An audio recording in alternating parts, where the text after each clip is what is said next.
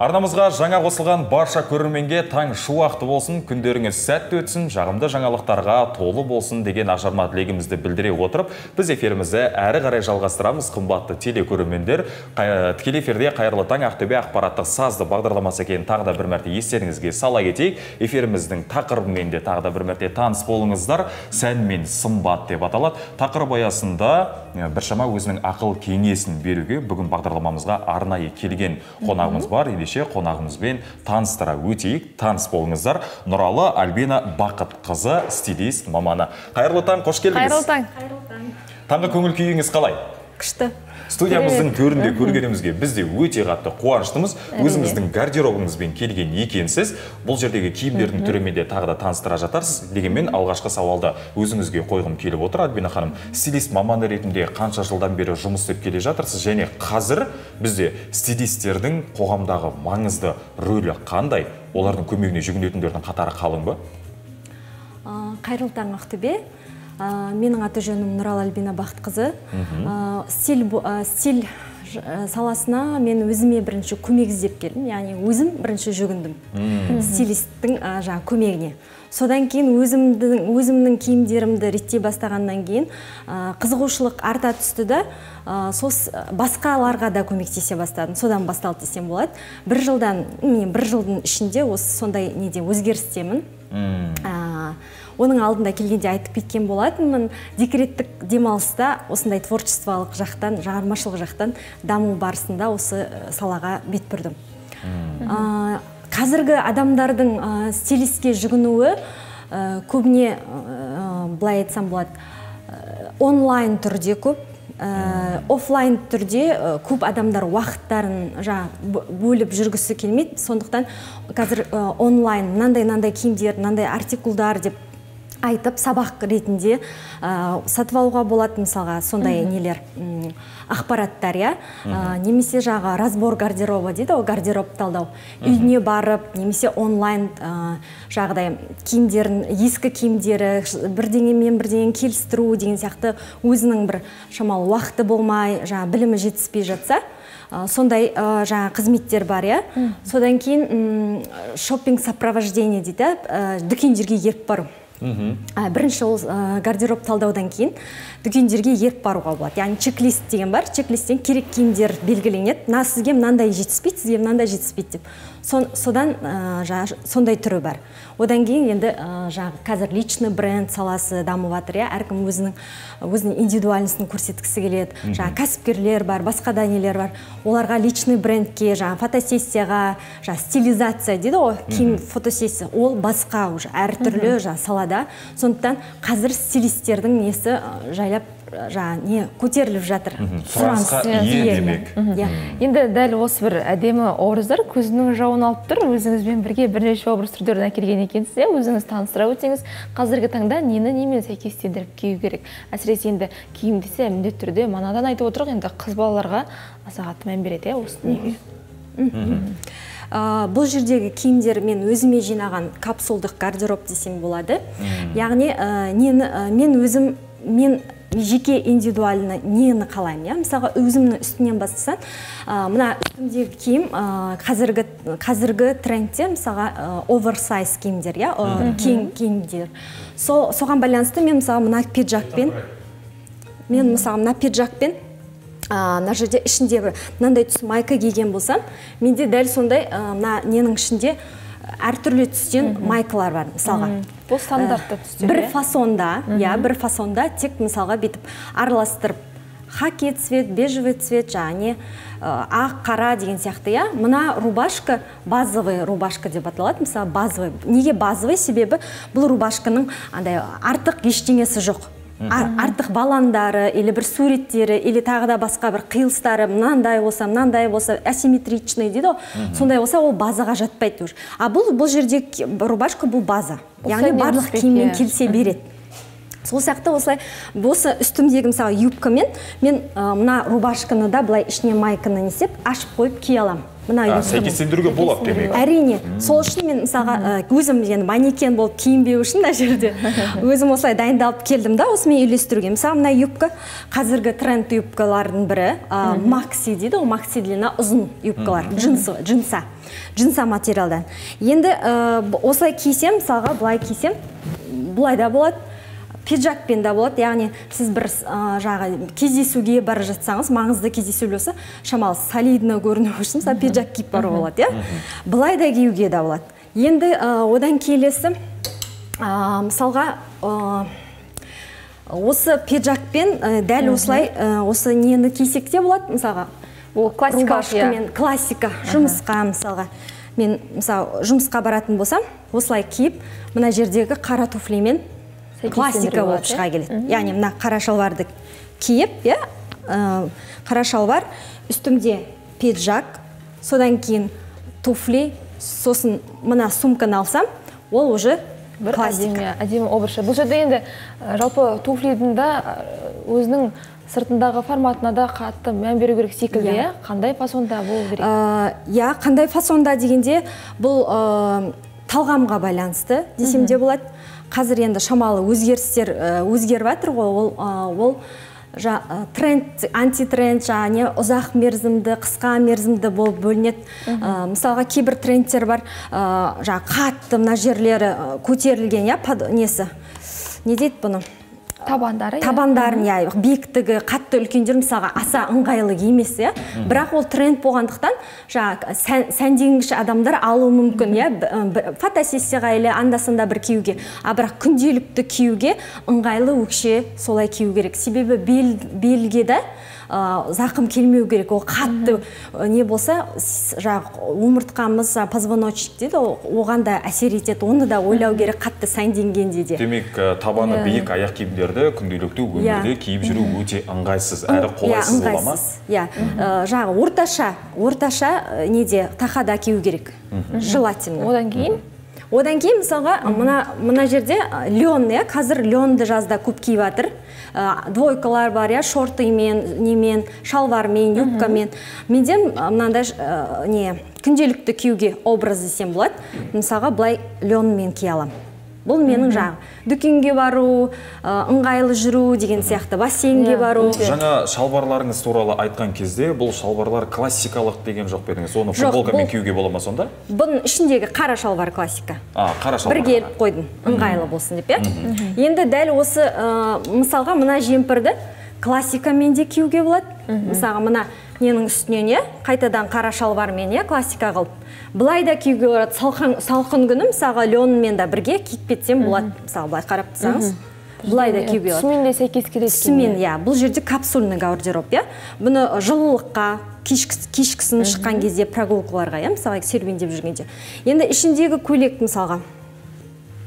Мына ішіндегі көйлек ә, былай кисең ә, күнделікті бір қыдырыстарға ба- барып киюге болады. А егер де мына көйлекті мен пиджакпен кисем және және де қайтадан туфли кисем бұл басқа андай ә, вечерний кешкі кешкі жаңағы мейрамхана той со- той топырға осылай каблукпен киген кезде оның түрі өзгереді. А былай киіп барсам күнделікті киім сияқты болады. Егер туфлимен мына пиджакпен кисем оның түрі бірден өзгере кетеді. Бұл яғни жерде енді қарапайым көйлекті кешкі көйлекке иә айналдыру бір былай да былай да киюге болады. Дәл сол көйлектің үстінен рубашканы да киюге болады. Ақ рубашкамен кидің де шыға қойдың мысалға бұл ә, бұл қалай? Қы- қыдырыстарға неге саяхатқа барған кезде иә күнге күйіп кетпеу үшін рубашка іліп аламыз иә қолымыз қатты күймеу үшін. Сондай да болады мысалға. Сонымен бірге бұл жерде негізі ә, киімнен бөлек аксессуардың да атқаратын міндеті бар иә? Иә дұрыс айтасыз. Ой әріптес біздің эфирімізге стилист келгеннен кейін бірден өзің сауалдарыңды қойып жатсың ғой. Мен де ер адаммын енді ер адамдарға да кеңес бере алатын шығарсыз иә? Ә, сауалымды қойғым келеді. Негізі қыз балалар үшін бір киімді екінші киіммен ұштастырып кие беруге болады екен өзіңіз айтып жатырсыз. Мен де негізі эксперимент жасағанды өте жақсы көретін адаммын. Мысалы бүгінгі киіп шыққан киімді мен өзім өзімнің идеямнан жасап алғанмын. Бұл жерде көріп тұрғаныңыздай поло классика яғни жа- жартылай классика. Ал үстімдегі ә, көйлегім таза классика. Әрі мынадай подтяжка тағып алдым. Бұл негізі стильге жарасымды ма әлде оғаш көріне ма қалай? Әрине ә, сіз жеке өзіңіздің стиліңіз ол сіздің жеке стиліңіз. Менің көрсетіп тұрған менің ұнайтын яғни өзімнің өзіме ұнайтын бағалайтын иә. нәрселер. Мысалға сізге галстук таққан ұнай ма?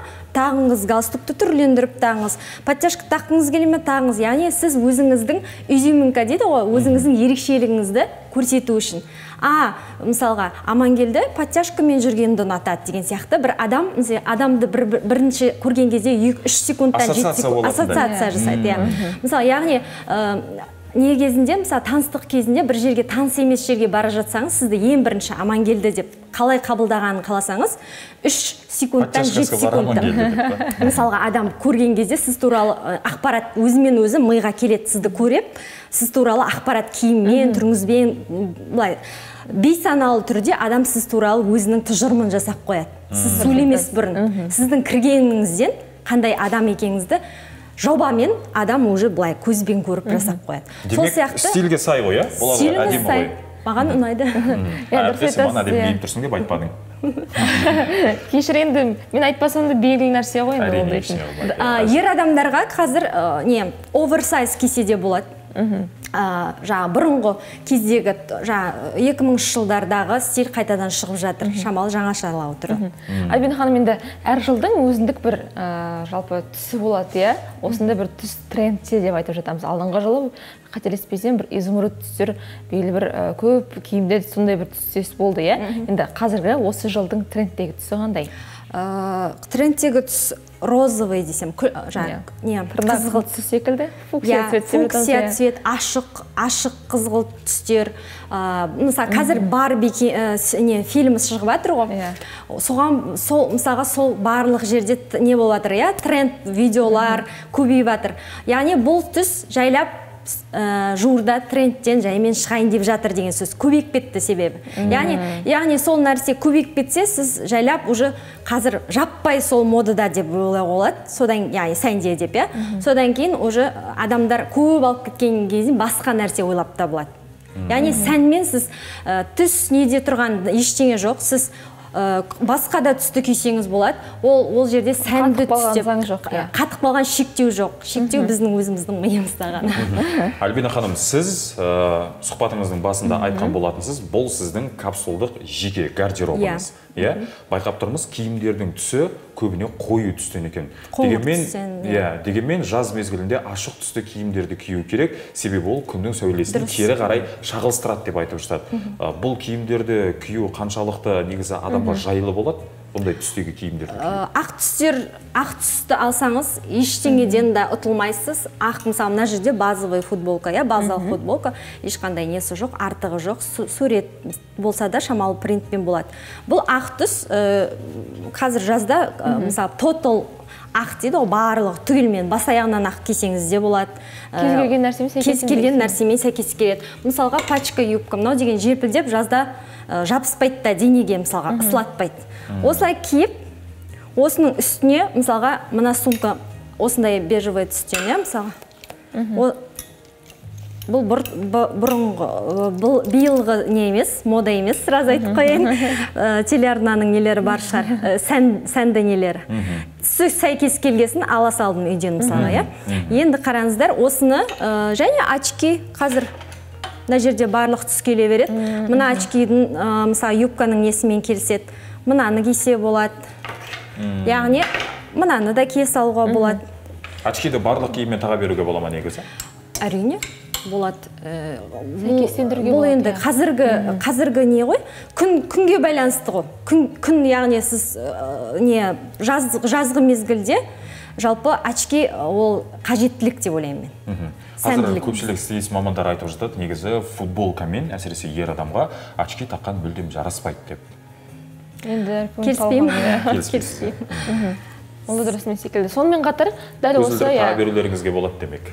Джинсовый дейді ғой иә иә джинса мода, иә. мысалға мына асты асты үстімен екеуі әртүрлі мысалға жерден алынған зат бір зат емес яғни бір не двойка емес. Бөлек бөлек бірақ келістіріп алынған джинсовка мен джинсы иә.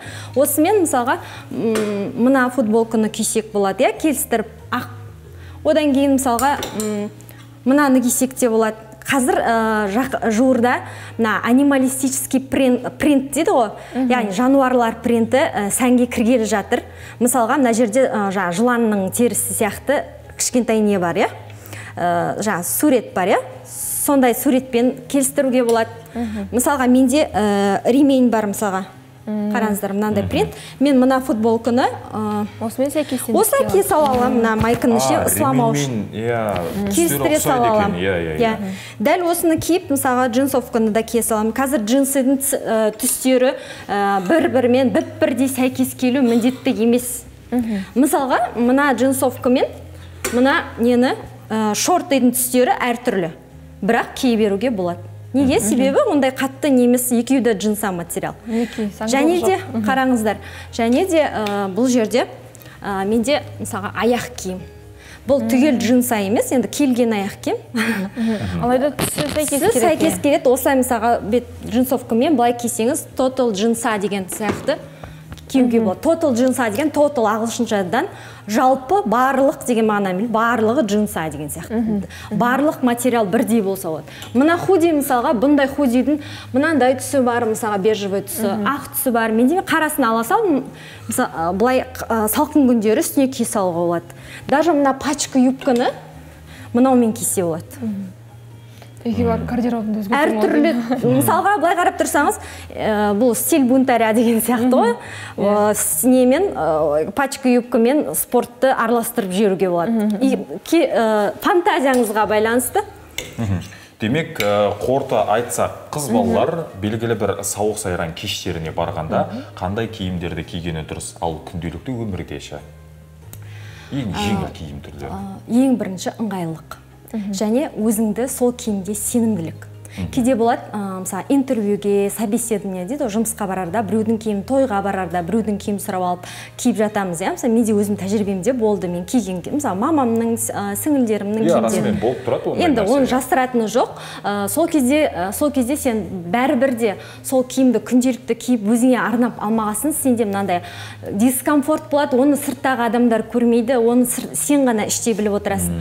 Мынауым келіп тұр ма маған келмей тұр ма? Алаңдайсың киімге. Яғни сен иә. собеседованияда отырсың бүйтіп ә, сіз, сізден сұрақ сұрап жатыр сен киіміңе алаңдап отырсың мысалға иә? Сен фокусың бұзылып кетеді. Иә, сондықтан өзіңе сенімді болу үшін ә, бірінші қай киім ә, жаңағы өзің жаныңа өзің қалап тұрған киіміңді киген дұрыс. Яғни өзіңе ұнайтын стильде фактурада ұзындықта яғни саған ұнайды іште адам сезеді өзіне не жарасатынын иә? Өзіне не жарасатынын. Сондықтан ыңғайлық сенімділік сосын барып жағы егер де моданы қуатын болып ақшаңыз жеткілікті қалтаңыз не болса арасынан бүйтіп ә, базовый киімдерге шамал шамалдан қосып тұруға болады. Жаңадан келіп тұрған шығып жатқан киімдерді аз аздан қосуға болады. Бірақ жаппай алудың қажеті жоқ. Мысалы кішкентай сумкалар бар оны қайда ұстайсың мысалы? Ішіне тиын салудан басқа автобусқа мінгенде ұстамасаң а былай ол ыңғайсыз иә? Бірақ сәнді. Кіп кішкентай сумкалар шығарады. Ә, ыңғайсыз иә? Телефон сыймайды. Ол ұзақ емес қысқа мерзімді. Сондықтан ә, барған кезде ойлану керек. Бұл маған керек па? Бұл неше киіммен кие аламын деген сияқты киімді ойлас, ойланып сосын барып ә, жасау керек. Алдын ала жоспармен сатып алу керек. Жоспарлап иә жоспар ойланып жүру керек. Іш- үйдегі ә, үйдегі киімдермен минимум бір үш төрт киіммен үйлескенін ойлау керек. Бүйтіп мида бар. А мынаумен анаумен келеді мынаумен келеді деген сияқты ойлану керек. Дұрыс айтасыз. Енді бұл жерде ең бастысы үйлесімділік сонымен Иә. қатар иә ыңғайлылық болып тұр ғой. Ендеше альбина ханым біздің студиямызға келіп сұхбат бергеніңіз үшін біршама ақпаратпен бөлісіп лайфхактарыңызбен бөлісіп кеттіңіз.